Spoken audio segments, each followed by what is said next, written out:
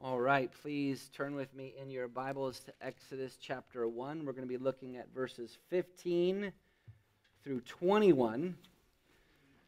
As you're turning there, please remember that the word of the cross is folly to those who are perishing, but to those who are being saved, it is the power of God. Title to our message this morning is How Defying Tyrants Invites the Blessing of God. Exodus chapter 1, starting in verse 15. Then the king of Egypt said to the Hebrew midwives, one of whom was named Shiphrah and the other Puah, When you serve as midwife to the Hebrew women and see them on the birth stool, if it is a son, you shall kill him. But if, but if it is a daughter, she shall live. But the midwives feared God and did not do as the king of Egypt commanded them, but let the male children live. So the king of Egypt called the midwives and said to them, Why have you done this? And let the male children live. The midwives said to Pharaoh, Because the Hebrew women are, are not like the Egyptian women for they are vigorous and give birth before the midwife comes to them. So God dealt well with the midwives, and the people multiplied and grew very strong. And because the midwives feared God, he gave them families. God bless the preaching of his word. Let's pray. Father, we pray that you would make us like little babes this morning, newborn infants that long for the pure spiritual milk, that by it we may grow up into salvation. For we pray in Christ's name. Amen. All right, you may be seated.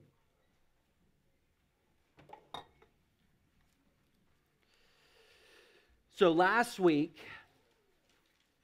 we discovered that all wicked nations, if they last long enough, always turn into houses of slavery. And we also learn that God has always opposed said wicked nations for the sake of his people. Um, he is not the God of Israel or the church only, he is God over every single nation. Now, this morning, we're going to see how God blesses his people when they disobey and defy tyrants like Pharaoh. And I think this is a, a timely message for the age that we live in. Um, one of the great blessings of 2020 was that we were able to discover how deficient our theology was concerning the civil authorities. Uh, many of us had been in breathing the air and had been intoxicated with the ideology of statism. We bought into the idea that whatever the state requires us, of us, we should give to them. Well, this is why the scriptures, and especially Exodus, is so helpful.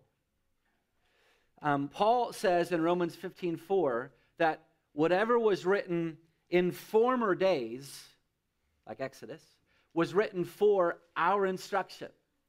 So, Exodus is not just history, it's written for our instruction, that we may know how God would have us to practice our faith. And this morning, we are especially instructed on how to practice our faith in the face of tyrants. What is a tyrant?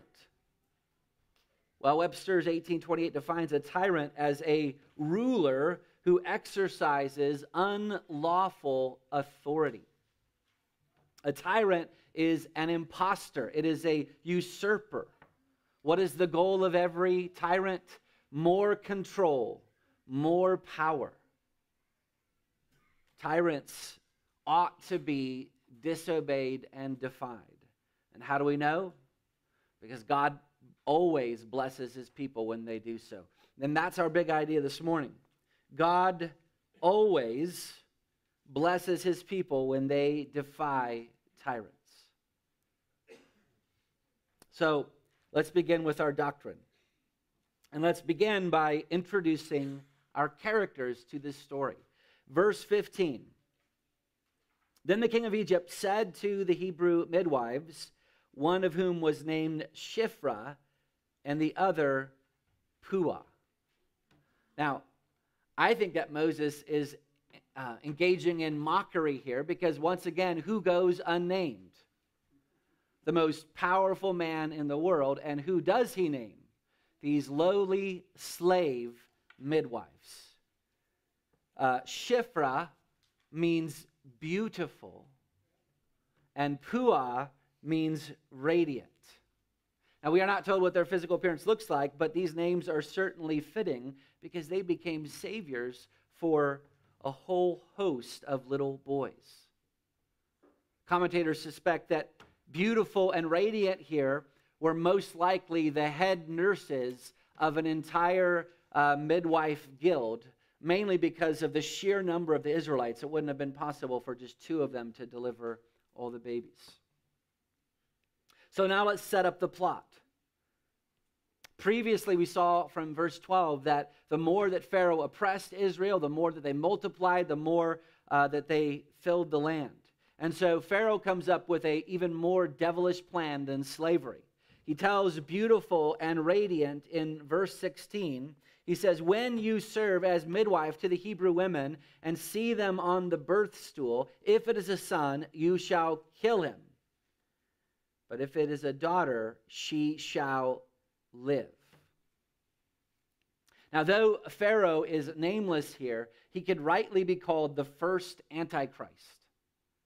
Um, what is an Antichrist? Well, 1 John 2 22 says, Who is a liar but he who denies that Jesus is the Christ? This is Antichrist. Pharaoh was Antichrist because he was seeking to deny Jesus' very existence by wiping out all of the offspring of Abraham. Remember, it was through Abraham, Abraham's offspring, that Jesus was to come. Now, I don't believe that Pharaoh was at all aware of this, but you have to remember what was going on in the world before Jesus' resurrection. Uh, the strong man had not yet been bound, the nations were under the control of Satan.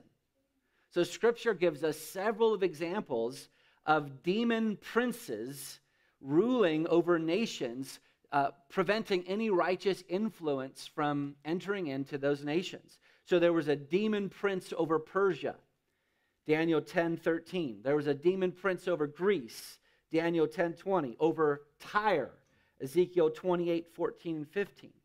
And so, this is the drama that's in the spiritual realm that's happening behind Pharaoh's decision.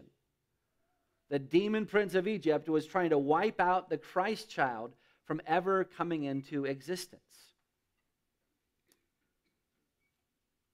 And from this, we see the implication that modern abortion not only derives itself from uh, ancient paganism, but from demonism.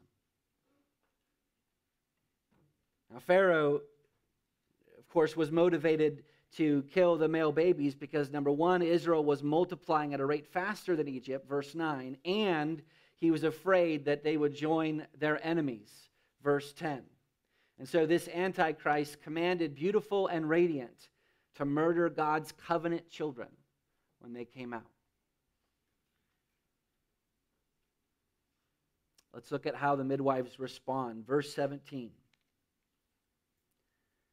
But the midwives feared God and did not do as the king of Egypt commanded them, but let the male children live.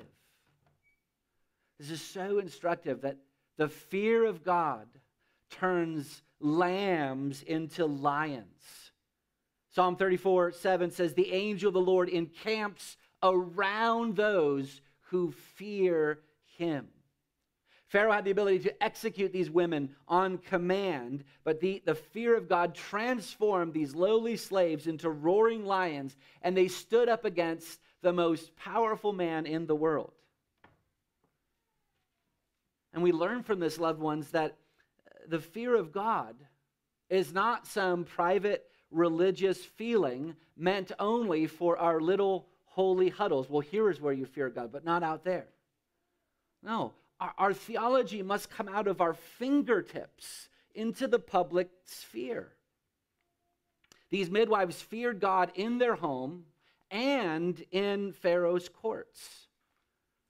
And it made them an enemy of Pharaoh. I think many of us don't have a category for this today. Do you realize this? That sometimes the true fear of God will mean that the state will be as mad as hell at you. But the fear of God is our greatest weapon in this arsenal against Satan and his kingdom. Jesus said in Matthew 10 28, Do not fear those who kill the body. Do not fear those who can kill the body. Who can kill the body? Tyrants. But fear him who can destroy both body and soul in hell. Fearing God just will require us to disobey an authority figure given the right circumstances.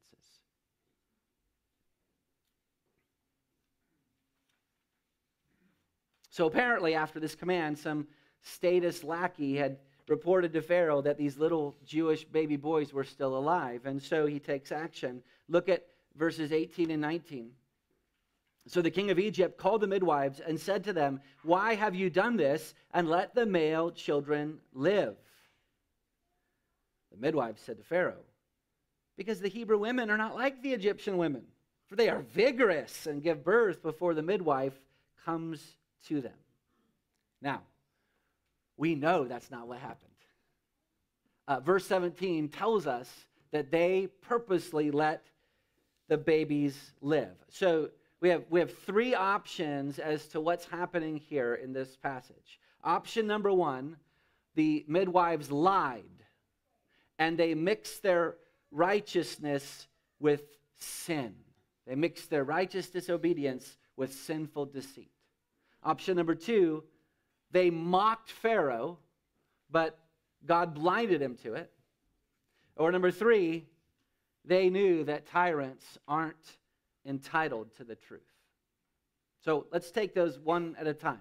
Option number one, they lied, mixing sin with their righteous disobedience. They lied, mixing sin with their righteous disobedience. Now, unfortunately, this was Calvin's view. This is one of the few places that I disagree with him. Calvin seems to absolutize the ninth commandment you shall not bear false witness against your neighbor, such that he believes that any deception whatsoever is always sin. Now, there are two problems with that position. Number one, the passage itself. Moses tells us that in verse 17 and verse 21, he tells us twice that these midwives feared God. They feared God. So they feared God enough to disobey Pharaoh, but they didn't fear God enough to tell the truth here? That, that doesn't make sense. Furthermore, look at what verse 20 says. Immediately after their deceit, it says, So, after their deceit, or therefore, God dealt well with the midwives. Moses purposely waited to speak of God blessing the midwives until after they deceived Pharaoh so that we could see it wasn't just their disobedience that God was blessing, but their deceit as well. So the passage itself doesn't, doesn't work with that. But secondly, the problem with saying that all deceit is always wrong contradicts human experience.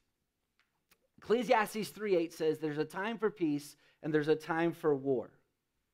So what happens in war? What happens in war? Well, armies use camouflage. Spies deceptively infiltrate. Tactics are employed to misdirect. These are all forms of deceit or lying. Why then do we say that these forms of deceit are okay? Because we intuitively know that enemies and criminals don't have the right to information that would harm or kill others. Uh, we could put it like this, as one author does The Christian is under obligation to God to tell the truth at all times where normal communication exists. Or where normal circumstances exist. So that's option number one. Don't think it's right. Option number two uh, these midwives were mocking Pharaoh, but God blinded him to it. This was J.B. Lightfoot's position. Look at the answer they give in verse 19. The midwives said to Pharaoh, Because the Hebrew women are not like the Egyptian women, for they are vigorous and give birth before the midwife comes to them. Now, th- this very well could be mockery. Pharaoh, our women are not like yours. our women are vigorous. So just read between the lines. Your women are kind of pathetic here. Um, but, but furthermore, they say, Our women give birth before we come. Now, think about that. If the Hebrew women give birth before the midwives ever came, then why do we even need Hebrew, Hebrew midwives? They're mocking him, just as Jesus often mocked the tyrants of his day. Apparently, God blinded Pharaoh from being able to read between the lines, just like he hardened his heart later on. Now, I like this option, uh, but I actually think that it's just a subspecies of our next option. Option number three is they, these midwives knew that tyrants aren't entitled to the truth. They knew that tyrants are not entitled to the truth. So, say this slowly. Not all deceit is a violation of the ninth commandment. Just like not all killing is a violation of the sixth commandment. Not all deceit is a violation of the ninth commandment, just like not all killing is a violation of the sixth commandment. Yes, they did deceive Pharaoh, but he wasn't owed the truth. Tyrants, just like enemies during wartime, are not owed the truth. Yes, we are under obligation to God to always tell the truth where normal circumstances exist. But war is not a normal circumstance. Tyranny is a species of war. One author puts it like this quote, Pharaoh was at war with God and with Israel. Israel had been enslaved, its people abused, and its newborn babies sentenced to death. This was clearly war. Even more, it was legalized, wholesale murder. The midwives lied to Pharaoh to save the lives of the babies. It was clearly lying, it was clearly justified, and it was clearly blessed by God. End quote. And these midwives were clearly blessed by God. Look at verse 20 through 21. God gives them a threefold blessing. So God dealt well with the midwives and the people multiplied and grew very strong. And because the midwives feared God, he gave them families. So, because beautiful and radiant disobeyed and defied Pharaoh, they, number one, helped Israel fulfill the cultural mandate. Number two, became strong and mighty. And number three, God gave them families of their own. And that brings us to our doctrine this morning that the Lord blesses his people when they defy tyrants. The Lord always blesses his people when they defy tyrants. So we can see that clearly in our text, but let's go elsewhere in Scripture to prove this out. So I have two proofs for you this morning. Proof number one is the defiance of three Hebrew boys. Proof number one the defiance of three Hebrew boys. Please turn with me to Daniel chapter 3. Daniel chapter 3. Now, um, Daniel, the book of Daniel, is actually a case study of defying tyranny, state tyranny. So in Daniel chapter 3, we come across this story. The king of Babylon, uh, Nebuchadnezzar, he builds this gold image that's 90 feet tall. And he requires that all of the nation would fall down and worship it whenever the music is sounded. You were still allowed to worship your own God, but you had to give ultimate fealty to the state. Well, Shadrach, Meshach, and Abednego defied the order of the king. And so Nebuchadnezzar had a furnace and he threatened to throw them into the furnace if they would not comply. So look at chapter 3, verses 16 through 18. Shadrach, Meshach, and Abednego answered and said to the king, O Nebuchadnezzar, we have no need to answer you in this matter. If this be so, our God, whom we serve, is able to deliver us from the burning fiery furnace, and he will deliver us out of your hand, O king. But if not, be it known to you, O king, that we will not serve your gods or worship the golden image that you have set up. So they defied the king. What happened? They were thrown into the fiery furnace. But guess who showed up? Christ himself. He was the fourth image in the furnace, and he saved them. And then afterwards, when they came out without even the smell of smoke on their clothes, Nebuchadnezzar made a new decree in verse 29 that if anyone spoke against their God, they would be severely punished. So, in summary, God blessed these three boys for their defiance against tyranny. Proof number two the defiance of Peter and John.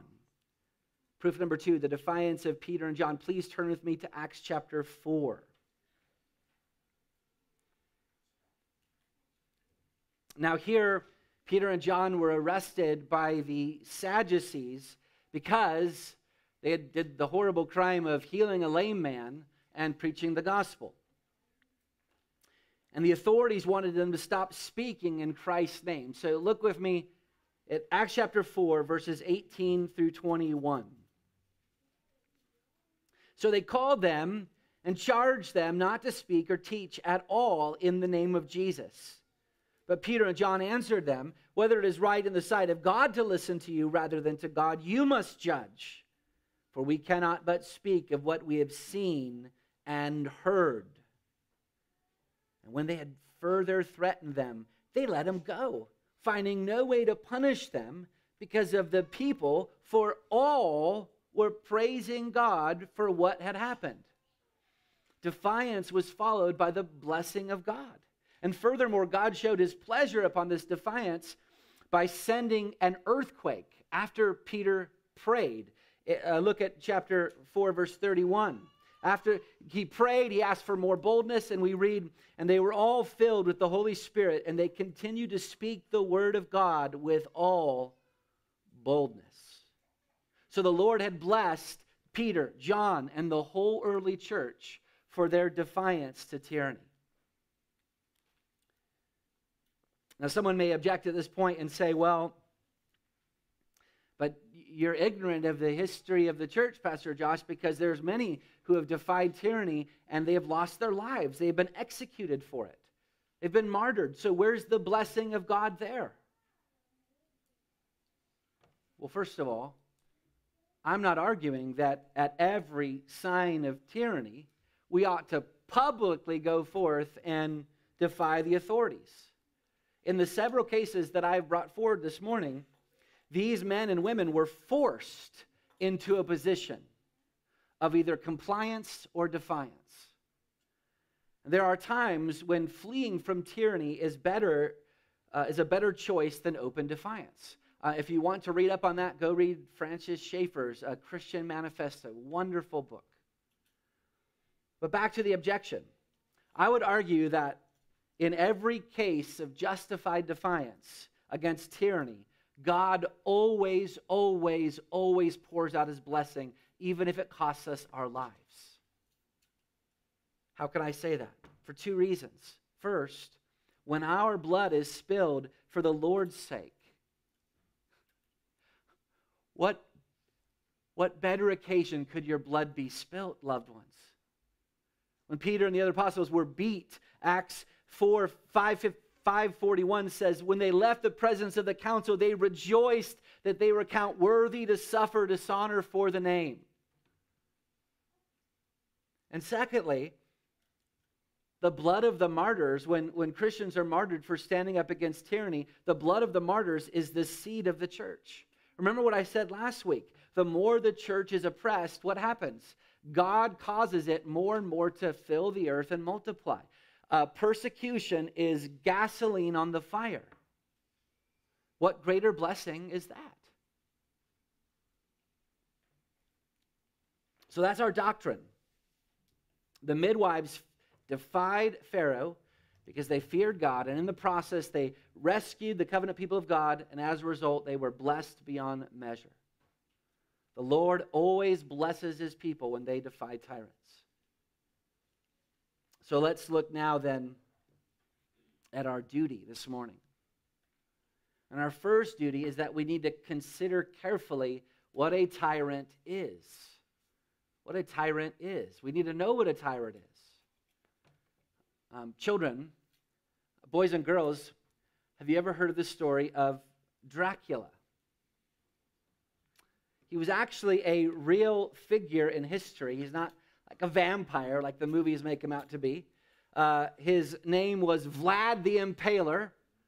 Uh, wonderful name to name your child. He lived from 1431 to 1476, and he lived in the modern day region of Romania. Now, when he was a boy, the Turks had invaded his land, and his father, Vlad II, was forced to, to surrender his son. Sometime later, Dracula escaped and he ascended to the throne of his home country. And then he began to wage war against the Turks. Um, and during the 39 years of his rule, he is said to have killed between 40 and 100,000 um, people, roughly 20% of the population at that time. So Dracula controlled his people by total terror. Um, on one occasion, there were envoys that had come into his court and they refused to remove their turbans in his presence, and so he had their helmets hammered on their head.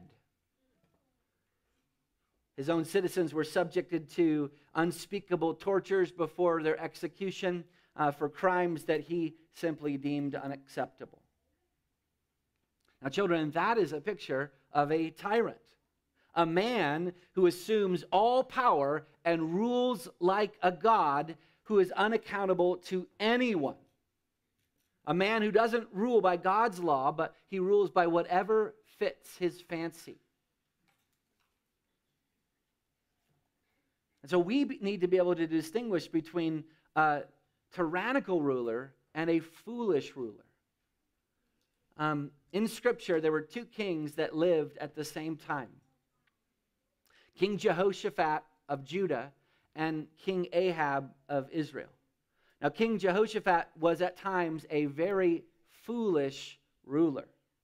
He joined his son in marriage to Ahab's daughter and he aided that wicked family in their Baal worship. In fact, Jehu the prophet later came to Jehoshaphat in Second Chronicles 19, 2 through 3, and he, he rebukes him with these words. He says, Should you help the wicked and love those who hate the Lord? Because of this, wrath has gone out against you from the Lord. Jehoshaphat at times was a foolish ruler, but he wasn't a tyrannical ruler. He deserved to be rebuked, but not defied. King Ahab, on the other hand, he was a tyrant. 1 Kings 16:30 says that Ahab the son of Omri did evil in the sight of the Lord more than all who were before him. He was the one who stole Naboth's vineyard through his witch of a wife Jezebel and then stood by while she hired uh, false witnesses to testify against him so that he would be stoned. And this king was wicked. He was a tyrant. And what did Elijah the prophet do to this tyrant? He defied him. First, he defied him by shutting off the rain in the land for three years, 1 Kings 17 1. Then he scorned him, calling him the troubler of Israel, 1 Kings 18 19. And then he mocked him by mocking his demonic religion at Mount Carmel. And he said, Oh, why don't you guys Call upon your God. Maybe he's on the toilet right now. Maybe that's why he's not answering you. 1 Kings 18 27. Elijah gave that tyrant the exact uh, treatment he deserved, and Elijah was righteous for it. So that's our first duty. We need to be able to distinguish between foolish rulers and tyrannical rulers.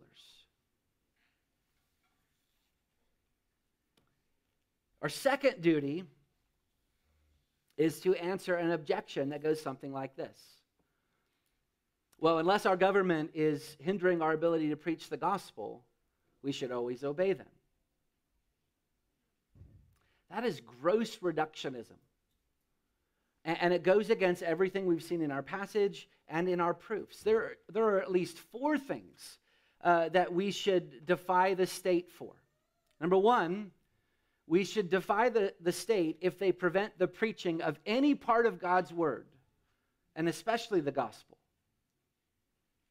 Number two, we should defy the state if they require us to break any part of the second table of God's law towards our neighbor, like when Pharaoh commanded the midwives to murder these boys. Number three, we should defy the state if they require us to break any part of the first table of the law, meaning when they demand our worship from us, like in the case of Shadrach, Meshach, and Abednego. And number four, we should defy the state to the degree that they don't stay in their lane. That's the tricky one. We should defy the state to the degree that they don't stay in their lane. But Jesus lays out this principle in Matthew 22. Matthew 22, verse 21, Jesus says, Render to Caesar the things that are Caesar's, and to God the things that are God. What this means is that God has given limited authority to the state, and when it takes more authority than what God gives it, they ought to be defied to that degree. So let me give you an example. Let's turn together to Second Chronicles 26. Second Chronicles 26, 16 through 19. This is an example from King Uzziah's life. Second Chronicles 26, 16 through 19.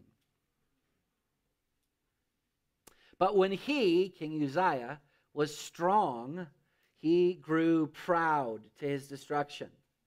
For he was unfaithful to the Lord his God, and he entered the temple of the Lord to burn incense on the altar of incense.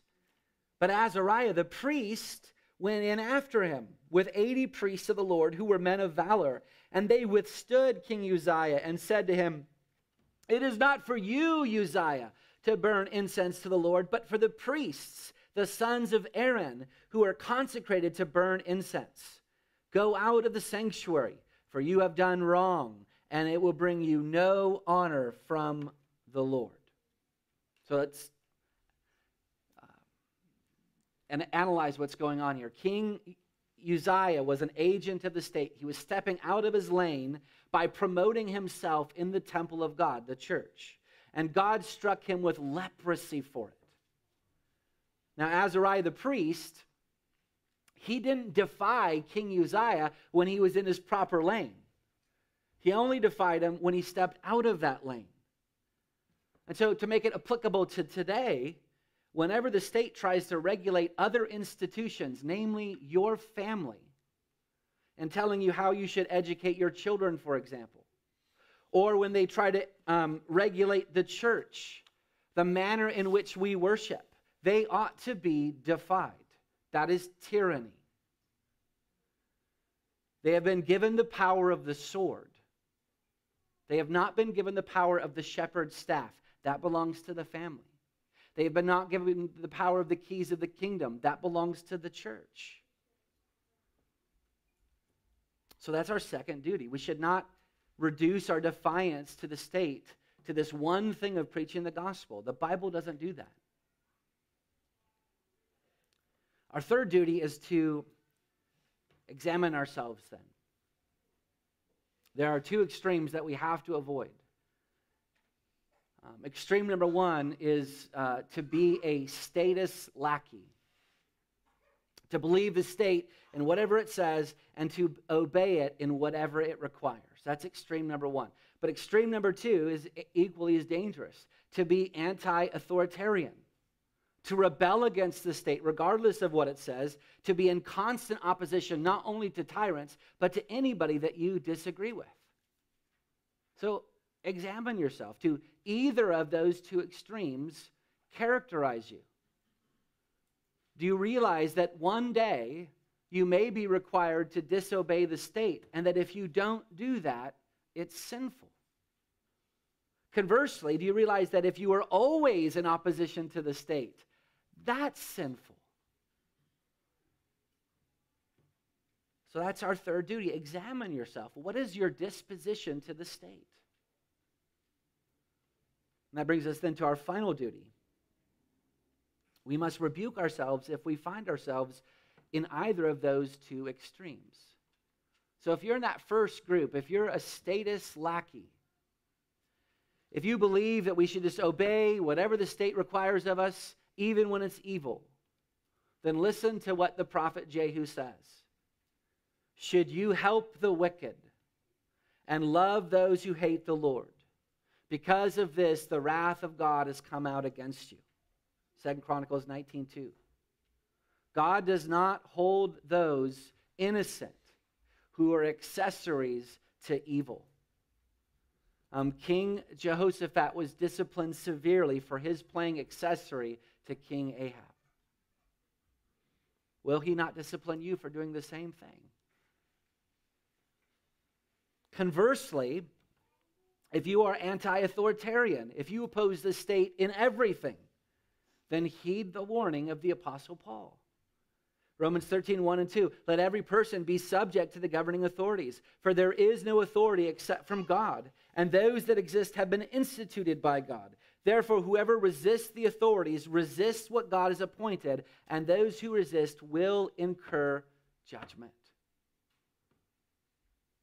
So rebuke yourself if either one of those extremes mark you.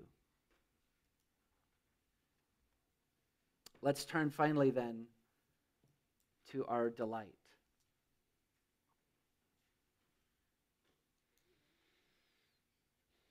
Now, there's a deeper story that's hidden in these verses than what we've already heard.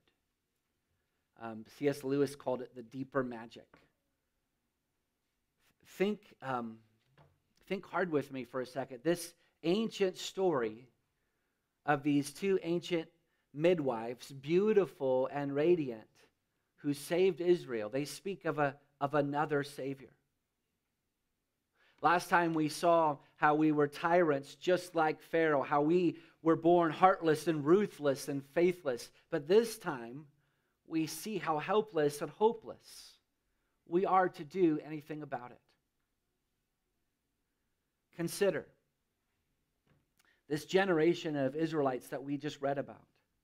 They were not born free.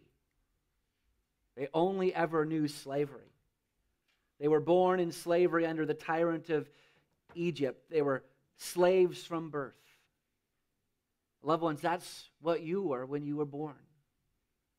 That's what every human being has been since Adam. We weren't born free. We were born into slavery. Psalm 51 5 Behold, I was brought forth in iniquity, and in sin did my mother conceive me. But it's actually double bondage. Israel was also under the, the bondage of the tyrant Pharaoh, not just in their chains, but under this tyrant. And we are under a tyrant, Satan himself, the God of this world, 2 Corinthians 4 4 says, has blinded our minds to keep us from coming to a knowledge of the truth. Furthermore, Israel was incapable of rescuing themselves. As slaves, they could not overcome Pharaoh's ruthless and all powerful army. But the truth is, is neither did they want to be rescued. Um, sure, they, they didn't like the chains, they didn't like the forced labor, but they loved the same gods that Egypt loved. If you fast forward to Joshua 24 14, Joshua tells Israel that their fathers, this generation, served the gods of Egypt. They loved the gods who enslaved them. Even after they were rescued, they kept on wanting to return to Egypt. Loved ones, don't you see? That's you. That's you. First, you were totally incapable of rescuing yourself from the slavery of sin. Just as the blind man cannot give himself sight, you cannot deliver your own soul. But here's the thing just like Israel, you actually didn't want to be saved. You didn't want to be saved. Though you hated the change, you loved the tyrant of this world. Ephesians 2 2 says that you followed the prince of the power of the air, the spirit that is now at work in the sons of disobedience, among whom we all once lived in the passions of our flesh, carrying out the desires of the body and the mind. You loved your sin. You didn't want God.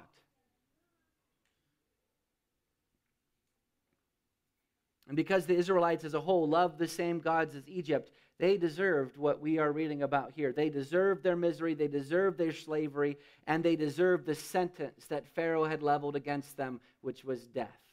And that's what we deserved. The wages of sin is death.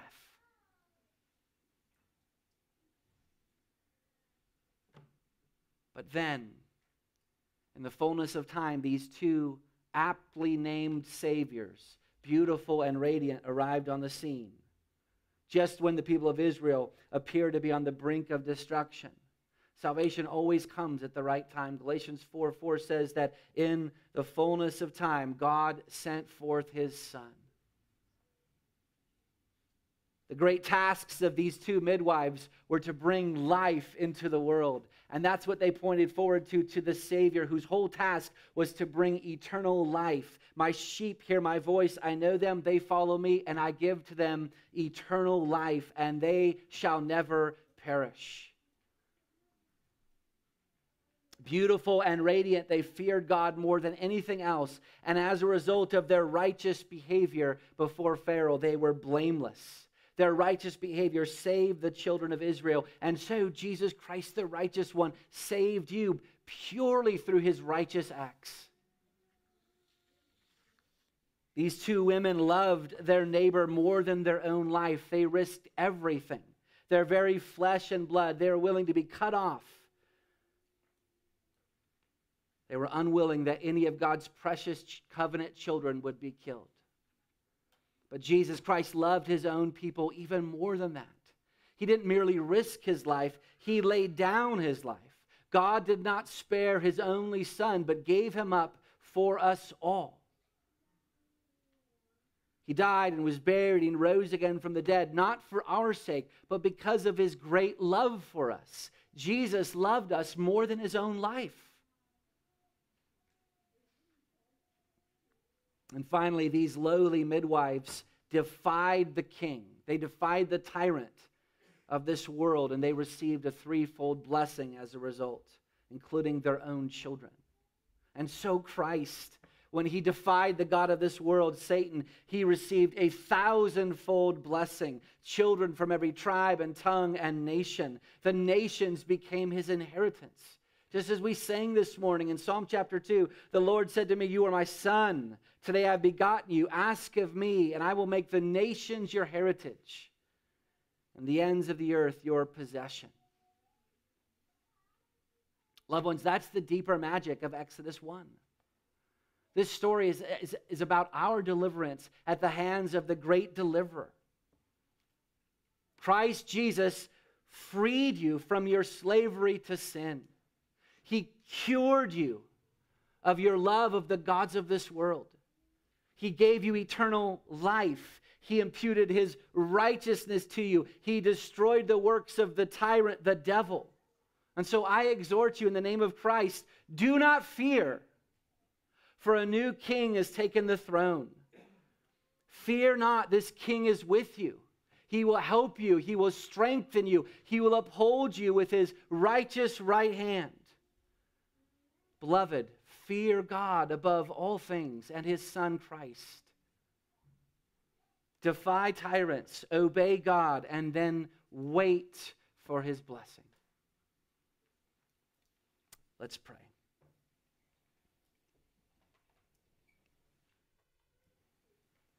God, we thank you for your word that instructs us, that gives encouragement that gives us hope. Lord, we pray that you would take these words and, and drive it deep down into our hearts, that we, like Shiphrah and Puah, would fear you above everyone else. That because of what Christ has done for us, we do not need to fear him who can kill the body, but we only need to fear you, who has ownership over both our body and our soul. We pray these things in Christ's name. Amen.